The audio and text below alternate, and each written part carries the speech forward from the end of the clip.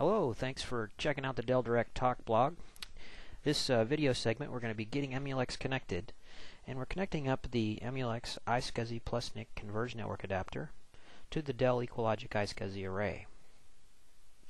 Um, to put this into context, I'm depicting here uh, our 10 gigabit iSCSI plus NIC converged network adapter.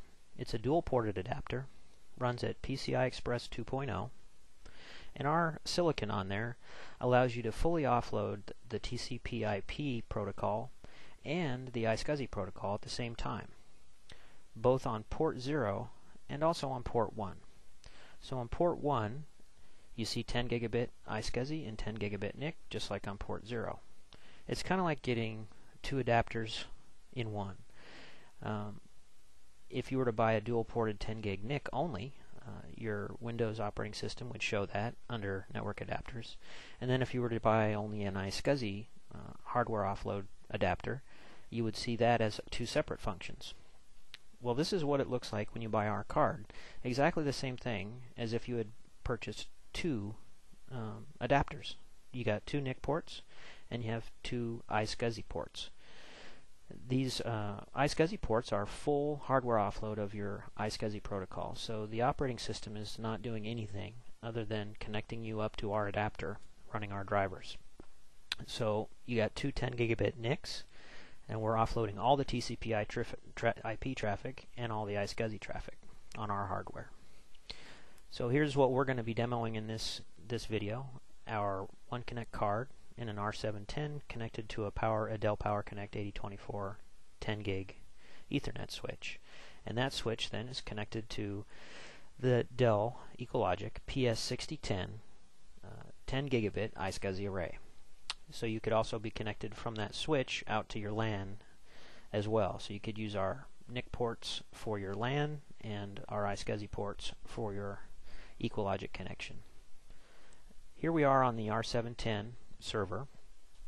And I'm going into the server manager so I can uh, give you another look at the device manager uh, so you see what the hardware looks like. Uh, again, this is just a single converged network adapter installed into this R710 server. Under Device Manager, if you expand the ne network adapter section, you see a bunch of network adapters, and there at the bottom there's the Emulex uh, NIC ports. And then if you expand the storage controller section, there's a couple more uh, hardware adapters for iSCSI only. So those are the four functions that this converged network adapter is offering. And again, this all runs at 10 gigabit speeds. So the next job is to create some volumes on our EqualLogic array and hook all this stuff together. So to do the EqualLogic part, I highly recommend you go to the Dell Tech Center uh, at, uh, online at the delltechcenter.com. Uh, and they'll give you lots and lots of information about how to uh, hook up your EqualLogic array and configure it. I just wanted to show you um, the simple process of creating, uh, in this example, a single 200 gig LUN and show you how seamlessly you can integrate the EqualLogic management uh, array management with our adapter management. We make it pretty simple. Um, I'm showing here that um, we have a single um, 10 gig EqualLogic array set up. There's 16 uh, drives set up in our array. Each of them are SATA uh, solid state disks. And we currently have no connections set up. So this is a pretty vanilla array at this point. So we click on our, our volumes section on the uh, control panel here, create a volume. We'll go in and, and give it some sort of descriptive name. This is all arbitrary and again, uh, I'm not the EqualLogic expert, but you can see how easy, even for a novice, it is to create create uh, storage here. But my point here again is just to show you, okay, here's here's your EqualLogic interface. I'm creating an I'm creating a volume. How does that work with my Emulex hardware adapter? Well, this next screen is a real great illustration. I want to limit access to just my iSCSI initiator. So I'm going to flip over to the same server, and I'm going to go over and launch my One Command Manager, which is the free software that comes with our iSCSI adapter. And in the One Command Manager, I pop that open, and there's my card. and I'm going to expand port 0. Look at the functions there. They're just like the uh, Windows Device Manager.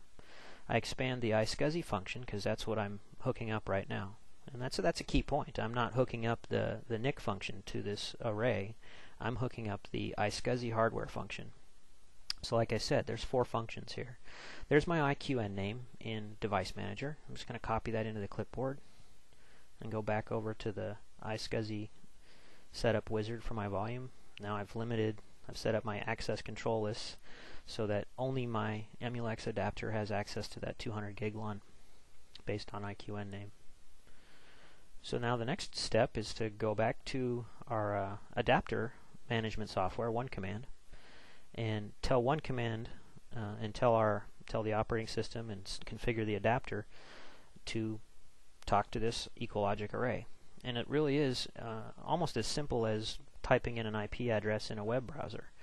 Uh, again, I'm over here on port 0, and we're treating this function, the operating system treats it as a separate uh, hardware initiator. Port 0 and port 1 are each iSCSI hardware initiators.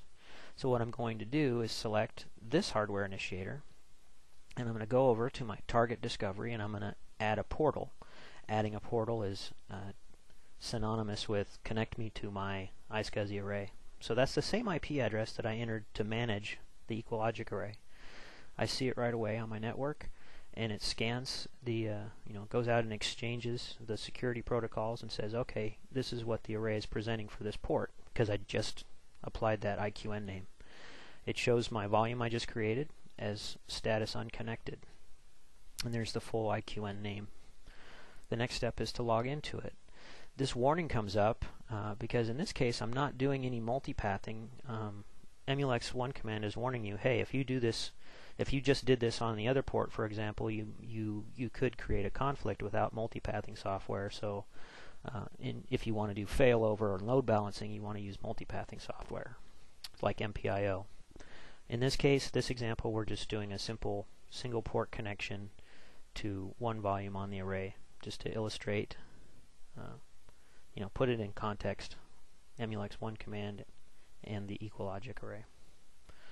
So you see there on uh, under the IQN name for initiator port 0, that we're connected to the EqualLogic array. On initiator port 1, we're not. I haven't, I haven't, I simply haven't gone into this one and uh, selected the iSCSI login tab. I haven't created corresponding volumes. And, um, so at this point, very simply, for port 0, I have associated, made a connection to the Dell EqualLogic iSCSI array. And that's that's pretty much it from the adapter configurations perspective. It's a few clicks. You go into now now we're in now we're back into the Windows Device Manager and we're looking at disk management. There's my disk. It's disk 1, there's my 200 gig disk. All I need to do now is bring the disk online. And this is the same process you'd do if you uh, just plugged in, you know, a new USB drive or any kind of a, a new external um, storage device that the operating system has now discovered. The uh, one command manager and our driver stack and the EqualLogic manager have made it all very simple and transparent. Basically, I'm presenting storage to Windows. I clicked on on this uh, disk, I initialized it, I'm creating a new volume, and I'm just going to format it. So all of this is, is pretty standard boilerplate disk management. All this standard uh, I just defaulted everything there and click finish. So after that, um, quick 200 gig volume on my iSCSI array, running at 10 gigabit 10 gigabit speeds, so screaming fast connection. And what's left is up to you. Um, for the here's a just a quick example of there's my new volume E that I just created, and I'll just go to my local hard drive and um, everybody should have uh, an iSCSI array in their in their house, I think. And you just copy your movie volumes here. So I picked a, a 1.3 gig uh, movie file, for example, copied it and pasted it. You know, obviously this isn't meant to be a performance study, but you'd get an idea. You know, at 10 gig speeds, it's just nothing. You know, it's pretty much done before you tried.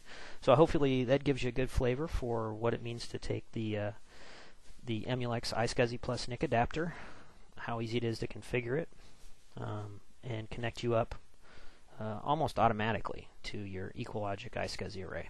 Hope this information was helpful. Stop by the emulex.com slash delblog again. We'll be doing lots more of this stuff in the coming weeks.